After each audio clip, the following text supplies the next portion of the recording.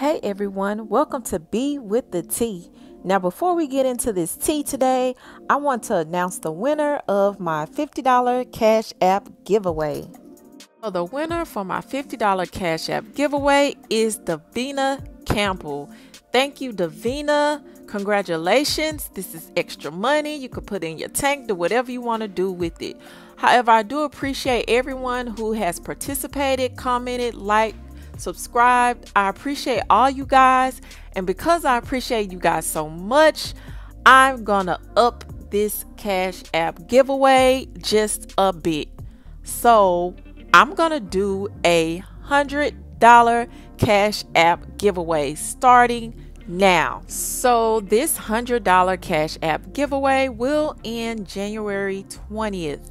Again, this Cash App giveaway will end January 20th.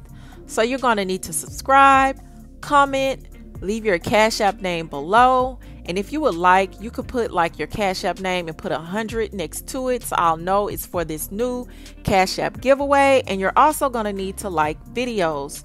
So you guys, don't forget that it ends January the 20th. Okay. Now let's get into this tea. So Kanye and Kim Kardashian are getting a divorce. I mean, I don't see this being a surprise to anyone.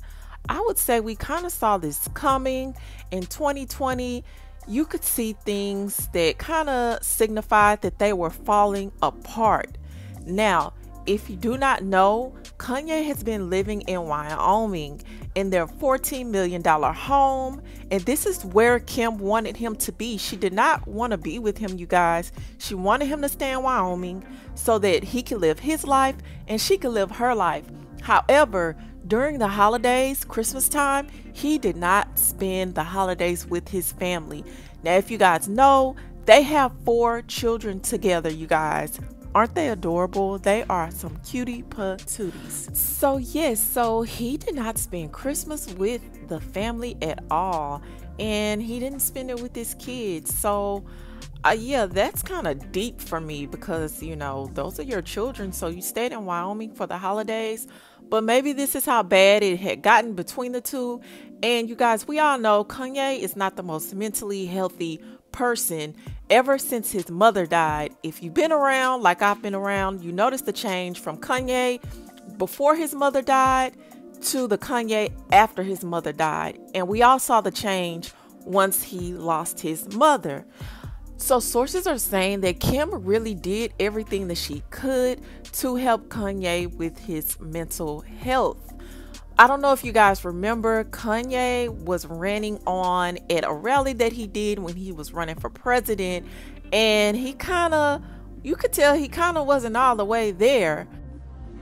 When Harriet Tubman, well, Harriet Tubman never actually freed the slaves. She just had the slaves go work for other white people. Y'all, we leaving right now. So after this rally, you guys, she actually tried to get him put into a mental hospital to get him the help that he need and he did not want to see her he did not want to be around her he saw her as the enemy so she really has done a lot to try to help kanye with his mental health however of course, people who deal with mental health issues do not always see themselves as having mental health issues. Kanye has also been wanting this divorce.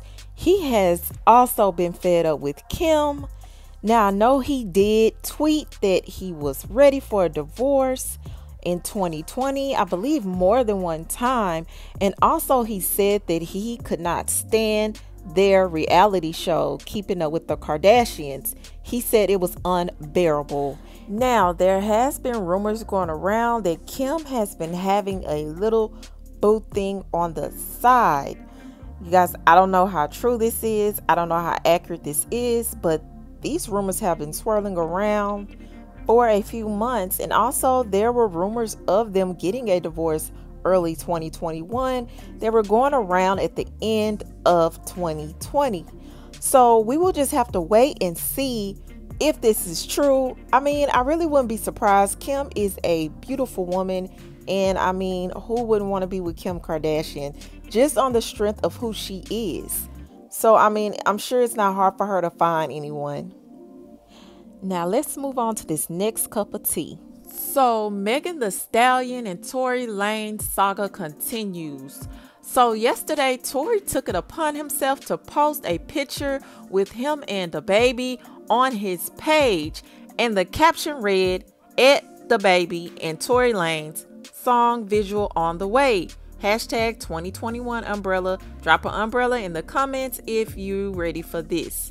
Now, if you guys do not know, Megan has a song getting ready to come out with DaBaby, and it's called Crybaby. Now, I know you guys have seen on social media the Crybaby Challenge. So she's getting ready to drop this song with DaBaby. Now, she did not appreciate the fact that Tory Lanez all of a sudden now he has a song coming out with DaBaby. Now she took to Twitter and she put laughing emojis, nice try. However, people were trying to come down on DaBaby, you know, because they didn't appreciate him doing this song with Megan, and then all of a sudden he's doing this song with Tory Lanez. Now, if you do not know what's going on, you guys, I'm just gonna say he allegedly shot her in the foot. Okay, so they have been having this ongoing drama, and he's actually gonna have to face a court system, and they're gonna determine if he's guilty or not. But her fans did not appreciate DaBaby doing a song with her, and then all of a sudden doing a song with him. But she did clear the air. She said that ish was old and not cleared. Crybaby video dropping soon. So this was in response to one of her fans saying F baby all 2021. So she let it be known DaBaby didn't have nothing to do with this. He did this song prior to the Crybaby being made, and basically, Tory is just clout chasing because he knows Megan is getting ready to drop this fire song that everybody has been raving about. But that did not stop Megan's fans from stating how they felt about this whole situation with DaBaby collabing with Tory Lanez, and they took to Twitter to express that. So this person said, "So DaBaby collabing with Tory Lanez, dude who shot his homegirl." And this person wrote, Y'all acting surprised that DaBaby is working with Tory Lanez like he wasn't punching mm, in the face all summer. Wow. Now, I do believe Tory Lanez was definitely being very petty with this situation. It does seem like he doesn't want Megan to be great, but of course, you guys, she's had a very successful career and climbing. Now, Tory does go back to court on January 20th to see the judge. So we will keep an eye on that and see what transpires from there.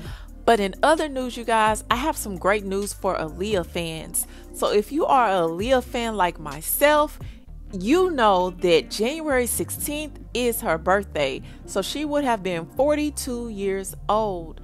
So, you know, her estate hasn't really been open to collabing with anyone. I believe they did do a Mac collab with her, but that's about all I remember. And that took many, many years for that to even come about. So they have been very private. We can't even enjoy her music like we can Selena or anyone else who we've loved and lost. But I believe things are getting ready to change because number one, Aaliyah does have an official Instagram page. Let me say that first. So she does have an Instagram page, which is a big step. Now, the next great thing is Aaliyah has a collab coming up.